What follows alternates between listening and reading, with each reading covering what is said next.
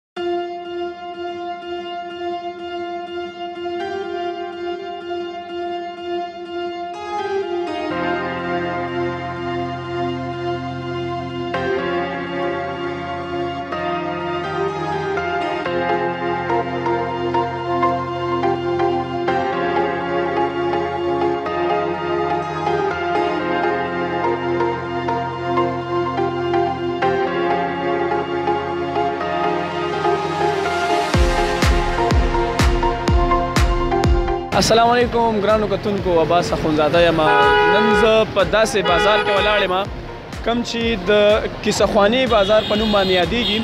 او دا ویل کېږي چې دا د څو سال هم د دې زیاتو شلو دلته چې کم دی نو مختلف قسم کې فوډ سټالز لګېدلي دي دلته د دې بیک سایډ ته چې موږ وګورو د دې کلونو دوکانونه دي دلته موږ چې کم دی په کور کې چې کوم څیزونه استعمالیږي دلته هغه هم شیز هم شته دی تاسو ته به مونږ د دې بازار ویزیټ درکوو او تاسو به مونږ ښایو چې په دې بازار کې څه شی څه شی ملاویږي نو مونږ سره اوسئ چرته ځئ ما اول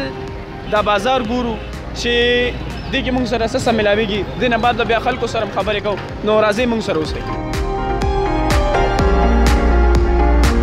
دا وخت زه د سکول چې کوم یونیفارم ورته ویل کېږي دا په انګریزۍ ژبه کې ورته یونیفارم ویل کیږي او په پښتو کې ورته ویل کیږي وې د سکول لپاره پینټ شرټ تاسو ته د دې دکان وزټ درکو د دې چې کوم مشر دی هغه سره مونږ خبرې کوو چې دا بازار څنګه دی مطلب خلک ماشومان راځي یا نه راځي اوس خو چې کم دی هغه رزلټونه مې او شو ټول او سټوډنټان به راځي هغه به د یونیفارم اخلي نو راځي چې دلته تاسو کو چې څنګه چل دی راځي السلام علیکم کاکا څنګه خیر دی نیکه طبیعت هم ښه دی کاکا دا راته ووایي چې ستاسو د دوکان څومره وخت وشو د بازار کې او څه کار مار ښه روان دی یا نه یا دې وخت کې خو تقریبا زما د بازار کې خو پنځلس څیالیس کال وشو ماشاءالله او نو مخکې نه هغه شان بازار نشته څنګه مخکې وو ها او دا راته ووایي دا بازار د څه څومره وخت نه دلته دی چې دلته کې سخانه بازار ویل کېږي یاره دا خو ډېر وخت نه وایي دلته ولې چې 1900 باسي کې حضور راغلی ما دلته نو ما هغه وخت نه کې سخانه بازار دی خو هغه وخت هغه دور نشته اوس کرانو کتونکو تاسو د بابا خبرې وورې دي د دې بازار لکه ما مخکې اوریدلی وې د دې بازار چې کم دی 100 سال لم زیات شي کېږي نو واقعي دا پرشا یو بازار دی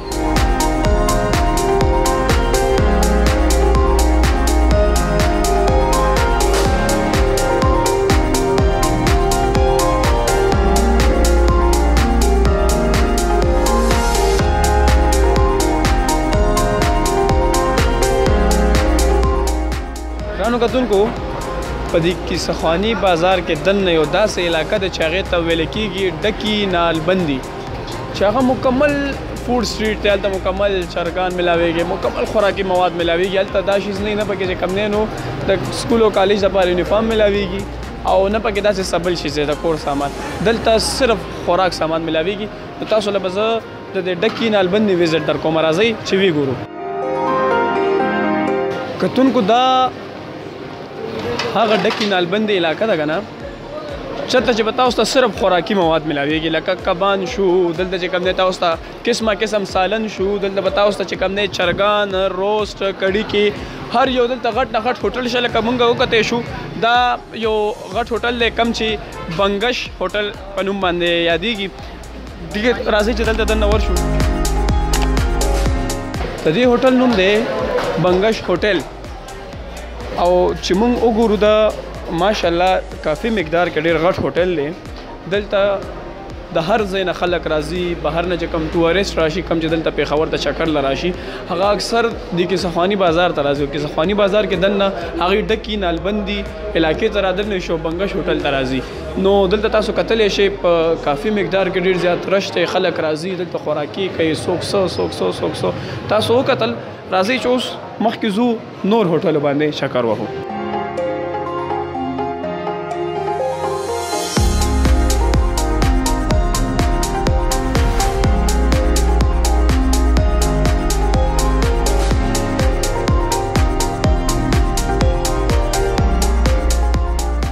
کتونکو په دې ډکی نالبندي علاقه کې یو چای والا دکان هم شته دی چې هغه ته ویل کېږي کوټا چای تاسو به د کوټا چای ویوال نوم اورېدلی وي خو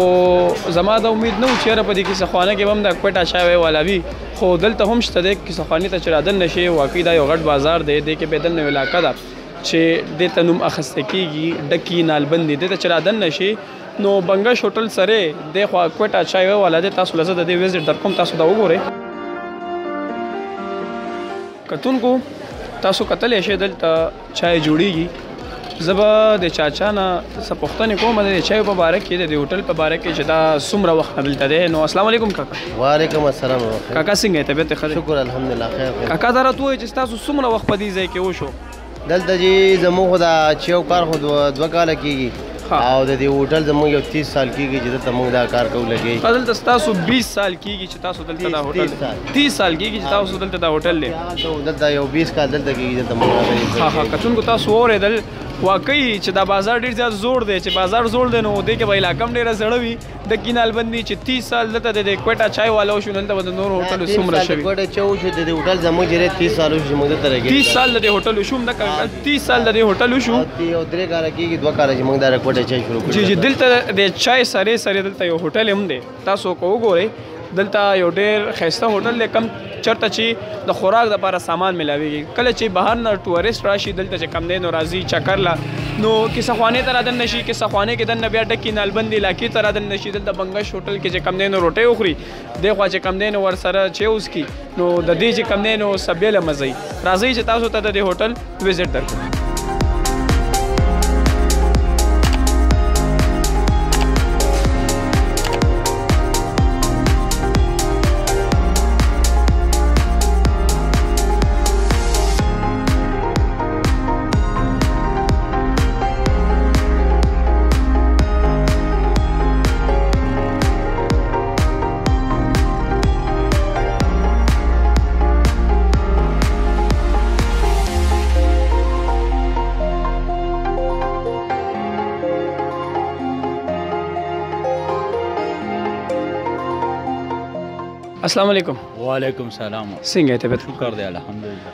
کاکا دا راته وایه چې د دې محمد علي جوهر چې کومه علاقه ده د دې څومره وخت شو دې کې دا کلونو دوکانونو څومره وخت شو او دلته خلک راځي کلونې علي او کنه د دې خو څه کم از کم د دې بازار خو چې 100 سال نه بره کیږي کنه چې دا بازار جوړ شوی دلته او پیله د دیګونو میګونو والو هغه نه پس پکې بیا کلونو والا راغل پیله او پکې دا ساده رمونه اوس پکې لګ 30 40 سال کیږي چې اوس پکې سیکلې او دا کلونې میګونې خسي نو دا کلونې تاسو چې څنګه وویل کنه چې دلته به اول دیګونه کې غوستل کېدل د دې کلونو دلته 4 سالو شو چې 30 د دې 30 څخه 40 سال کېږي د کلونې کار خو چې په دې علاقې کې د کلونې کار سٹارټ شوی دی ها او دلته چې کم نه نو سیکل هر یو شنو درته وای چې دا مال چې کم نه تاسو اوس ګران خلې اول خو ما ورېدل چې دا ډیر زیات ارزان نو اوس دا اوس چې کم سیس په ترپیغان چې په 280 روپۍ راتلو هغه اوس په 1100 1200 روپۍ راځي او چې کم شی په 850 روپۍ راتلو کنه هغه 4.5 5000 روپۍ ته خته دي کاکا ډیره مننه ټریپل نه زیاته ګرانی شوی ډیره مننه ډیره مهرباني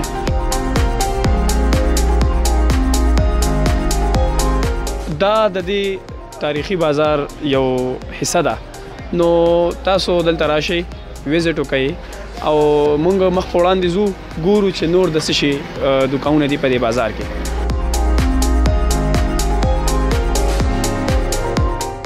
تاسو کتلی شئ دلته چې کم دی نو هر رنګه موبایل ملاویږي تاسو کتلی شئ دلته د موبایلو کور دلته د موبایلو چارجر هر څه دلته ملاویږي نو تاسو د دې ویډیو وکتله دا چې کم دینو د موبایل کور والا چې کم دکان دی موږ دا غي مخه ته ولاړو دلته ایون دلته د موبایل د چې کم روستو دلته ګوته لګي ګوتما ورته ویل کیږي دلته هغه ملاويږي نو موږ د دې دکان مالک نه تاسو کو چې د دې بازار سمره وخوشو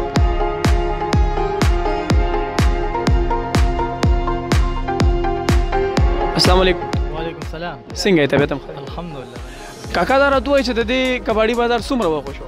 کباړي بازار خو چې زما یاد شي که نه تقریبا چې پنځلس کاله نه پکې زموږ دوکانونه دي دا موږ شپ کي او د دې نه مخکې دی کې دا ټي وي نوي سیرونه هغه وخت نه ورته کباړي بازار ویل شو لکه دې نه مخکې دی کې ټي ویانې وي ماشینونه دا او هغه وخت نه ورته کباړي بازار کیسټې دا دې دور په تیر شوی دی او دې کې دا کله نه د موبایل او کباړي بازار یاره تقریبا چې 10 12 سال نه دا موبایل کار شروع شوی خدل د موبایل ها خدل د موبایل کار 10 12 سال نه شروع شوی کتون کو تاسو سنگو کتل دلته د کیسخوانی بیک سایډ ته کم کباړي بازار دی د کې 10 12 سال نه صرف د موبایل کار روان دی دینه مخ کې دی کې کم دی ټي وي ریډو ټیپ مونږ چې وایو لکه دکه به اوس همداسې سپین ږیري باباګان وي چې هغوی ته به یاد وي تاسو ته به هم یاد وي اول به چې کوم دی ټیپ او ریډو به خلکو ډېر زیات اورېدو نو هغه به هم چې کوم دی همدلته ریپیر کېدله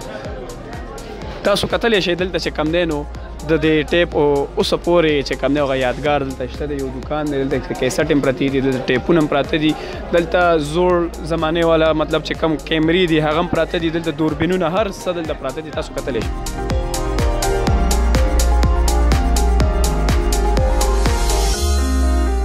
څنګه چې تاسو ته ما وویل چې په کباړي بازار کې موبایل ملاويږي همدې کباړي بازار باندې چې لږ مخکې راشئ نو دلته بیا فوډ سټریټ راغلی دی په دې فوډ سټریټ کې اوس را روانه ده ګرمي